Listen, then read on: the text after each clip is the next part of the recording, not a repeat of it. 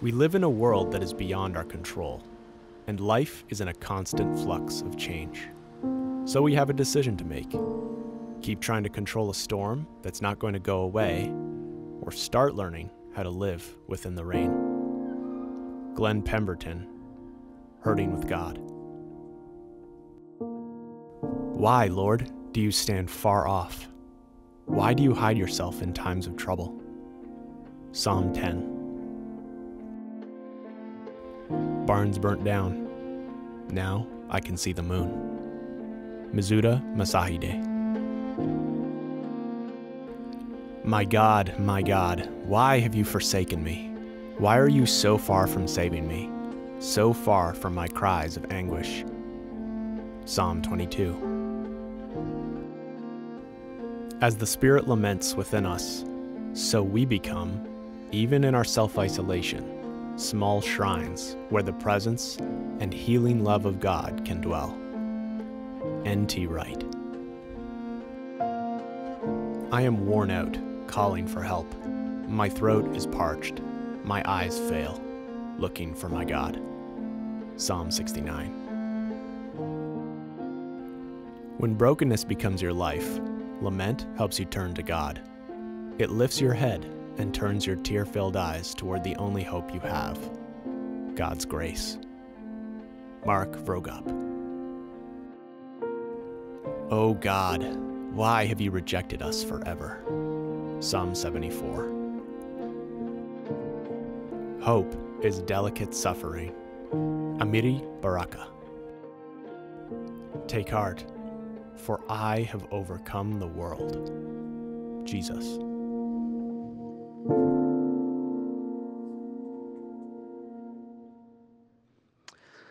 good morning, friends. Welcome to the beginning of our new series, Hope, where we're journeying through the, the, the Lent, the Lenten season, and engaging with these spiritual practices, these rhythms of faith, uh, some of which might seem very, very um, foreign. Even the notion of Lent, uh, maybe this is like your first time uh, checking out a church, maybe you're listening online or you're a visitor to one of our parishes, and you're like, I, what does that even mean?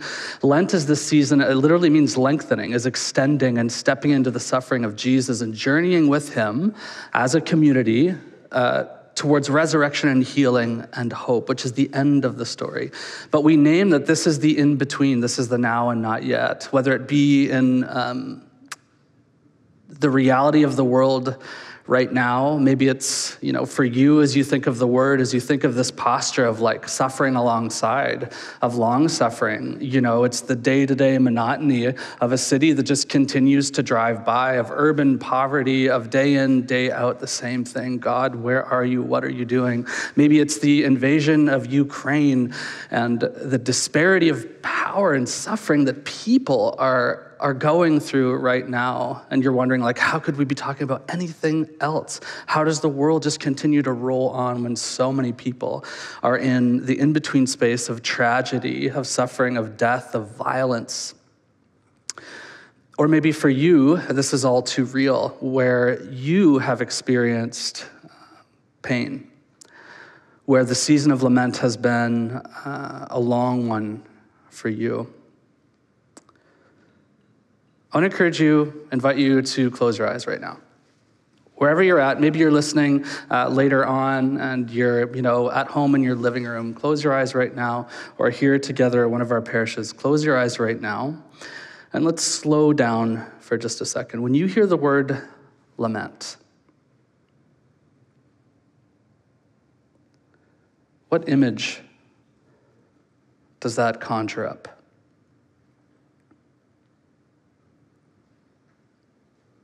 When you hear the word lament, what feeling does that bubble to the surface?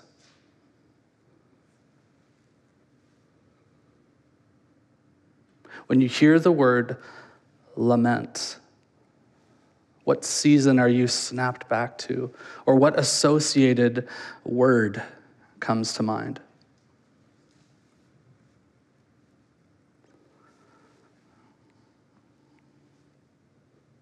I want you to hold on to that word, that image, that phrase, whatever bubbled up there by the Spirit. I want you to hold on to that throughout our time uh, together this morning. And I'll make mention right now this is a trigger warning. Um, I'm hopeful that we will end on a note of hope, of care and connection for each other. But this sermon, this teaching is going to be intentionally heavy, which I don't know that we always create a lot of space for uh, in our faith communities, maybe even our church. I remember a few years ago, um, I was journeying with a very good friend of mine who went through uh, just calamity just calamity, suffering and suffering. She'd had a very difficult family life. Uh, and then one of her like closest uh, confidants and friends died suddenly. And I remember thinking like, God, why her? Like what? How is it possible that there's more for her to handle? Like her whole life has been lament. And then a short time after that, maybe a month or so, we were having coffee uh, and connecting with some other friends, all of whom were Christians and all of whom were, were well intent, well intent. And one of our mutual friends kind of like came up to her and patted her on the shoulder and said, I heard what you've gone through. That's really tough, but don't worry, you'll get through it. Jesus is Lord, and walked away. None of that's untrue, right? None of that is untrue. However, I remember looking at her and seeing her face kind of drop, and she kind of just kind of sighed, smiled, and I looked at her and I was like, I don't feel like that was helpful. And she was like, Yeah, it wasn't, but I understand people struggle with their own pain, much less someone else's. So that's kind of typical of the responses that I've got in this season. And so when I think of the word lament, that is the word that sticks with me.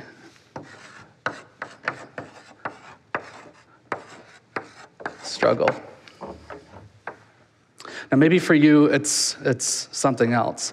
Maybe for you, it's less specific or more specific. Or maybe for you, like you are, um, you know, one of those people that we as a community, those of us who are struggling, need to lean in and lean on. You're like, yes, but, but there's goodness, there's grace in this season. And amen, we agree. It's fascinating that as I was studying for this, uh, this series and also this sermon, I don't think. Um, I don't think I recognize the, the meta narrative, the overall story of lament that God invites us into in the Bible. The scripture is rife, is, is full of stories of honest crying out, of putting those words into phrases, of expressing our heartbreak to God. In fact, there's this whole book called Lamentations, a whole book called Lamentations that uh, is is a, a breathtaking group of poems um, that focuses just on this like why so much pain? In fact, the Hebrew word for lament, uh, the lamentations is, a, is a, a, Greek word that's been rendered into English, but the Hebrew word for it is, is just how. So lament literally means how, which is fascinating because I think I, I think our minds, or for myself, I, I move very quickly towards why. Like, what is the reason? It's math. This plus this equals this, and if it doesn't equal this, then it, we should go back and figure it out. But the Hebrew posture is how? How do we get here? How did this happen? And how do we navigate through this together? So, when you think of the word lament, and you think of your experience, especially if you're a person of faith, how do those two things come together? What have your experiences been, especially in a community of faith? You know, we don't often talk about these things. Like, you know, when it, when it comes to the postures, the rhythms of, of um, connecting with each other in community and with Jesus, joy, yes. Worship, yes, for sure. Gladness, hope, victory, grace, all the things, yep. But when is the last time we honestly openly and unashamedly lamented these things suffering, the, the plans that didn't happen, the grief of things that we thought like would never happen, and now they are happening. The pain of things shifting and changing, the ways that we couldn't see or sense or hear God, things that made us feel like not whole, times where we experienced maybe deep and catastrophic loss. My friends, the point is not why. The point is not necessarily speeding through these feelings, but the point is how. How do we stay in it? How do we see God at work even in our pain and in our lament? My friends, there's room for God in all of this. There's room in our faith for it. There's room in the grace of Jesus for all of this. I'll invite you to turn in your Bibles to Lamentations. Uh, we're going to start in chapter 5. We're going to jump all over the place. Um, it's after Isaiah and Jeremiah, so it's in the Old Testament, the, the right half of the book. Uh, and then it's just a very short and really. Um, obscure book of poems. Now, when you read Lamentations, it's what this is. This is like a, an acrostic group of poems that features four characters in the book, only three of which are mentioned. And it starts out in a, a very real and raw tone. So, Lamentations chapter 1, verse 1. Here's how it goes. Be encouraged. Jerusalem, once so full of people, is now gone, deserted, destroyed. She who was once great among the nations now sits alone like a widow. Once the queen of all the earth, she's now a slave. She sobs through the night. Tears stream down her cheeks among all of her family, loved ones, and lovers. There is no one left to comfort her. All of her friends have betrayed her and become her enemies. Judah, Jerusalem, has been led away into captivity, oppressed with cruel slavery. She lives among foreign nations and has no place of rest. Her enemies have chased her down, and she has nowhere left to turn. What a hallmark uh, card that is.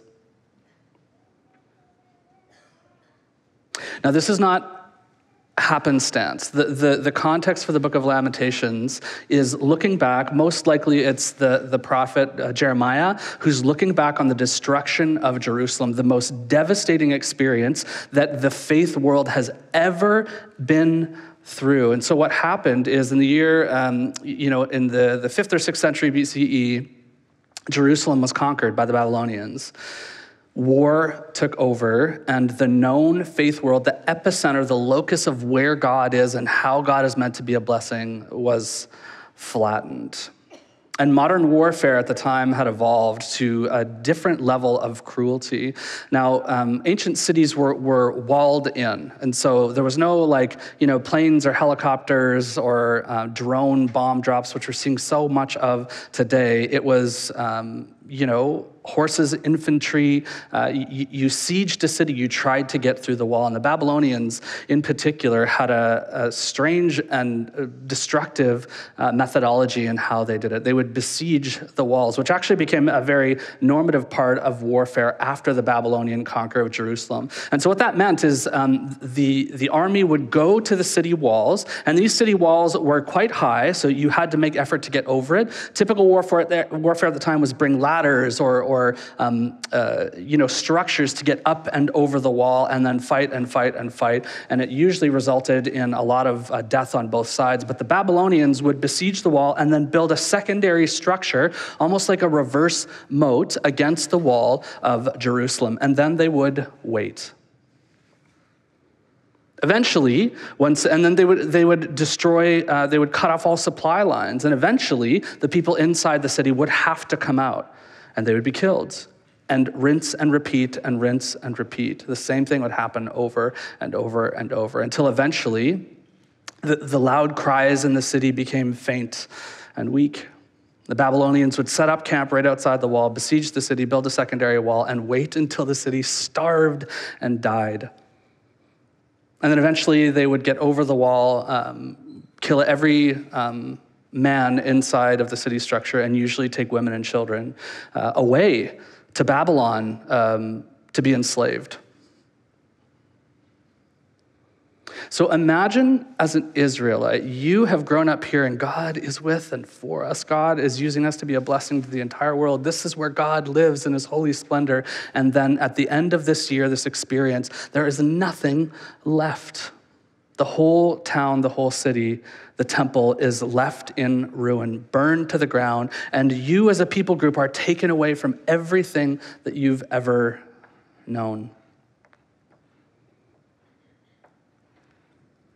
And so in the story, we hear four voices. One is the woman, is the daughter of Zion or the, the, the, bride of Jerusalem, who represents like purity and innocence, and like God is doing something, God is birthing new life. And then there's the man who, who represents power, uh, you know, and purpose. And then there's the narrator or like the cosmic voice, who it's like the 30,000 foot view of everything that's happening. And then there's God, and God says nothing. Nothing. God does not answer the why, but fascinatingly, God enters into the how, the lament of his people. I think that's helpful for us, my friends, especially in this season, uh, the world the way that it is, uh, these like violent repeat um, actions that we as humanity cannot seem to step past the, the quickness that we try and escape pain and suffering and move wholly towards pleasure. I just want to feel, look, act, seem better than I am. And lament, Lamentations calls us back, this posture of lament calls us back to sitting, slowing down, and to being authentically ourselves. What does it mean to stay in lament? Not just speeding towards the why, but speeding, staying within the how. How is God speaking? How is God entering into our suffering? How is God moving us towards hope? Lamentations is an ancient tradition, a practice of naming what is and what isn't, what should and should not be. But more so, it's, it's how we're meant to do this together. When hope and, see, and healing seems too far away, even when God seems silent, we are meant to do this together. In Jewish tradition, lamentations and even like the, the Lenten season is like it's the lang- it's the, the language of thinness, the language of the border, the authentic usness, the words and pain and cries that bubble up from the depths of our being. You may have heard it said, when we don't deal with our pain, it goes into the basement and lifts weights. Lament is the coming up to the surface, as being honest, integral with where we are in the space between where we know we should be and the road to hope that I hope we are all on. And so I think the narrative of, of Scripture is helpful in three ways. Number one, uh, prayer. Number two, petition and protest. And number three, lament is the acknowledgement of pain. Um, if you're not in a home church, this is a great commercial for you to get in home church. We need to be in tight together, especially in this season, brothers and sisters. And you're going to be talking um, lots through uh, the book of Lamentations and a couple others, but just for the sake of time, uh, I want to just give a high level overview and then um, walk us through an exercise in silence as well. So, lament is prayer. If you skip over to uh, Lamentations uh, chapter 5, which is the ending of the poem, now, typically in our Western sensibilities, when, when we're resolving a poem or a song or, or a dance, there's, there's like a, an up and to the right uh, trajectory. Like, we want to feel the goodness of, like, yes, but, despite all these troubles, yes, but, here's where we're landing. And the ending of uh, Lamentations goes like this. And this is the voice of, like, uh, the, the, the, the narrator, the, the community the community praying together, uh, just like this. Joy is gone from our hearts, our dancing has turned to mourning, the crown has fallen from our head. Woe to us, for we have sinned. Because of this, our hearts are faint. Because of these things, our eyes grow dim and sad. For Mount Zion, which lies desolate, the city of Jerusalem, which lies desolate with jackals prowling all over it. You, Lord, reign forever, though. Your throne endures from generation to generation. Why do you always forget us? Why do you forsake us so long? Restore us to yourself, Lord, that we may return, renew our days as of old, unless you've utterly rejected us and are angry with us beyond measure. And then if you flip over, nope, that's where Lamentations ends. Now it's fascinating um, this might seem unsettling if you've never heard this before, but our Jewish brothers and sisters, we have so much to learn from this ancient tradition. Our Jewish brothers and sisters, this is a regular rhythm in their uh, liturgy of faith and practice, is to set aside time, and even once annually, to commemorate the experience of lamentations, of what does it mean to be authentically connected, to call out in prayer. And does God invite that? Yes, He does. Now, depending on the religious tradition that you grew up with, maybe you know you hear a prayer, you hear scripture like that, and you're like, "Whoa, that is a that's a you know a non-coffee morning. What what's going on there?" Or maybe in your religious tradition, or even in like you know the way that you grew up with parents, you see God as like clenched fist, angry. You don't talk back. This is far from the picture that we see in Scripture. Throughout the lament, uh, Lamentations uh, poem, we see this rhythm of prayer, lament as prayer, this rhythm of prayer that these people are calling out to God explaining what they see as wrong, confessing their own hardships, their own doubts, their own struggle, their own grief, but then returning to partnership with God and with each other. And memorializing it. That we lament, we sit in the pocket of grief because it's healthy. It's helpful for us to be in it together, not just to speed through it individually as fast as possible. The fascinating thing about lament as prayer is that it, it invites public mourning. It invites us to, to externalize what is internal. It invites to the surface what maybe has gone down to the basement and has been lifting weights. It exposes our truest selves to being given permission to say, God, this hurts Hear our cries, hear our prayer, O Lord. How long will you reject us? You reign forever. Help us. Imagine if that was the language of our prayer connectedly. And imagine if that was the semblance of like our community uh, moving forward in our present season and the season to come. If instead of individualizing our pain, we linked arms, connected with each other, knowing that God is moving us towards hope, but knowing that God is here in the pain and the in between and the lengthening phase of lament. Number two, lament is petition. Uh, just for the sake of time, I'm not going to read through uh, Lamentations chapter 3, um, but I invite you to do so. It's fascinating and unsettling and uncomfortable. Lamentations chapter 3 is the voice of the man, and this is the man petitioning. I thought we were strong. God, where are you? Are you sleeping? Uh, this is the prophet Jeremiah, most scholars think, who also said, God, you have ruined my life. You have to change things. Wake up, do something. And God is here for it, doesn't correct. Instead, enters in, gives space for, and feels it too. It's fascinating that the, the male voice, like, straddles the line of reverence for God, but also petitioning and pushing on God as well. Like, do you not see this? What are you doing? How are you acting? This isn't right. And then it becomes the communal voice as well, the communal voice of protest, correction, and care of people saying, This can't be the way. This can't be the way.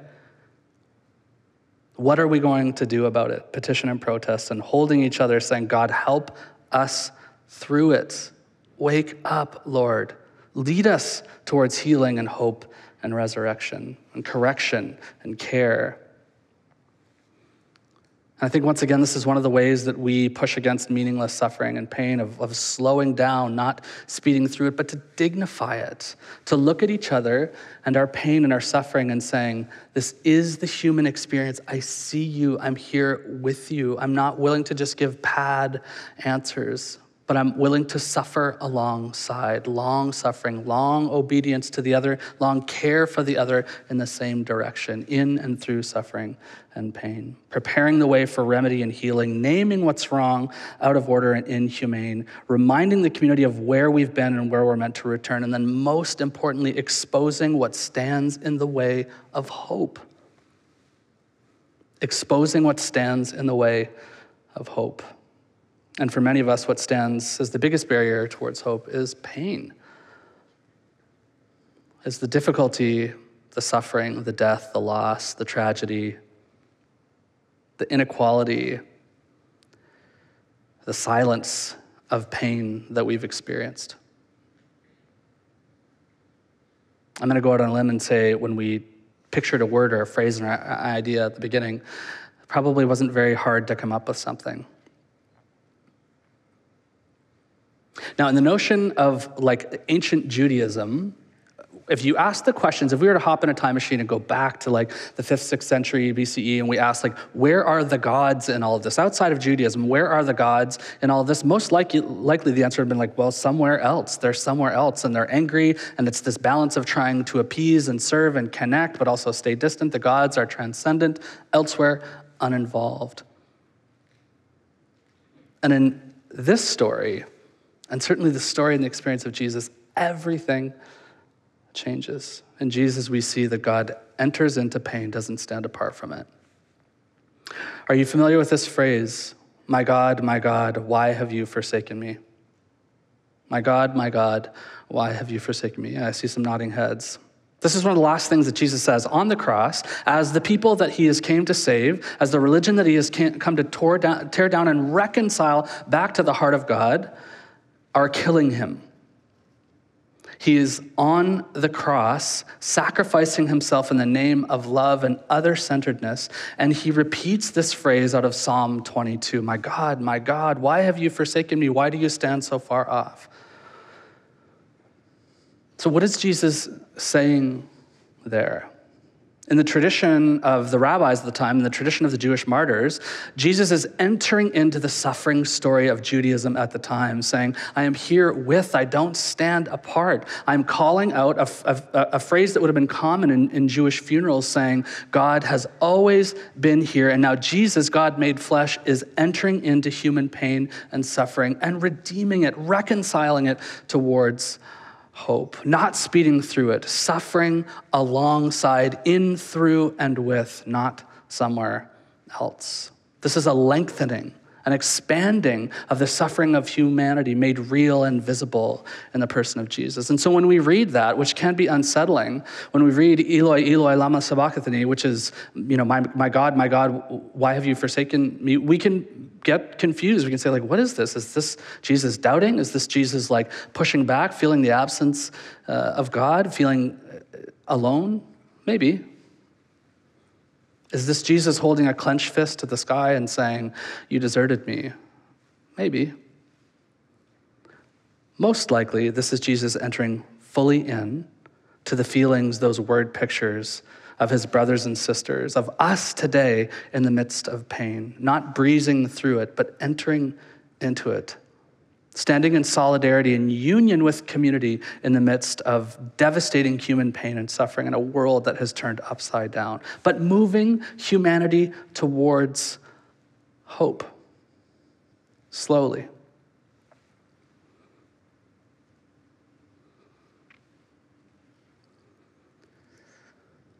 When I was young, um, my sister died.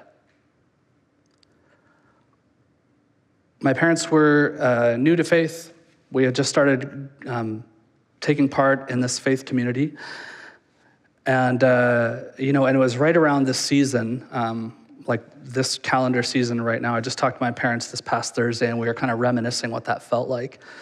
What it felt like to lose an 11 year old daughter, a sister to, to me, friend to many, and the rhythms that you go about, like, why, how, what, what, what, did the, what is the purpose? She had gone to a friend's house. They had like a, a little friend sleepover. She came back to our house, our family home, mentioned that she wasn't feeling well. They took her to the doctor. The doctor was like, it's probably just a flu, a cold. Um, don't worry, take her back home. She got kind of progressively worse. They went back to the hospital. The hospital said, we'll admit her and ran an IV just to keep her hydrated. My parents got sent back home to just get some rest. In the middle of the night, they got a phone call that Sandy was critical to come back, and my parents got there just as soon as she passed away. My God, my God, why?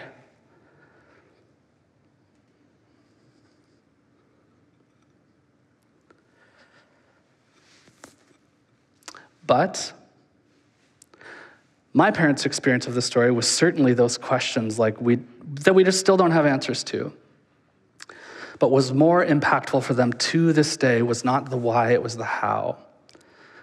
Now you remember they were new Christians at the time, had just um, you know been part of this church community, and the first person there at the hospital as Sandy passed away was uh, our pastor, this this spiritual caregiver as part of our community. And what he said to them has never left them to this day. He said, I have no answers for you. I don't know why this has happened, but till the day that I die, I'm committing to being with you, to being alongside you in your pain and grief.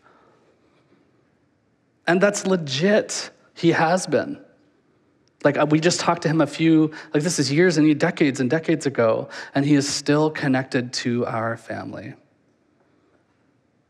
Many times in our, in our faith journey or, or even in our faith communities, we want to speed towards answers. We want resolve, quickness. Let's fix it, let's get through it.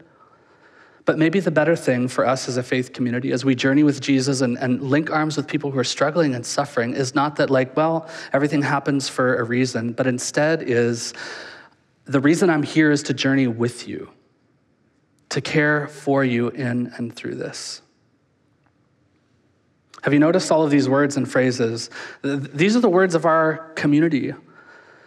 And it's fascinating, more often than not, when, when we go through suffering, what is our tendency? Is our tendency to sit in the pocket of these words, or is our tendency to be like, no, I just want it to go away. I just wish it was, I just wish it was gone. Like, Lord, get us through this, through this, heal it, let's be done with it.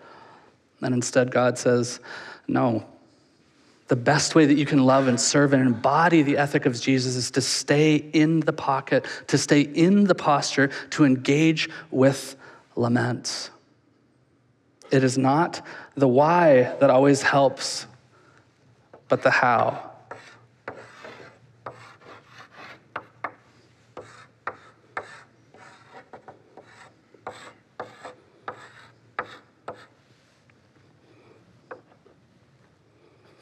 Brothers and sisters, when you find yourself struggling, suffering, when you find yourself walking with deep pain that has gone down into the basement, may you be encouraged that you serve and are loved by a God who invites it to come out. When you find yourself feeling alone and lament in this long period of in between space, with a fist to the air, saying, like, what is going on and why? May you know that you serve and are loved by a God that partners with you in this and suffers alongside us. And when you find yourself feeling physically, emotionally, mentally, and even spiritually alone, may you know and be encouraged that this is the mission of the church. This is the body of Christ that doesn't leave you or us alone, but that steps in, links arms, and says, let's do this together. And may you know that the grace of God, the love of God, the pain of God, and the covenant commitment of God is with you and with me and with us, always moving us towards hope.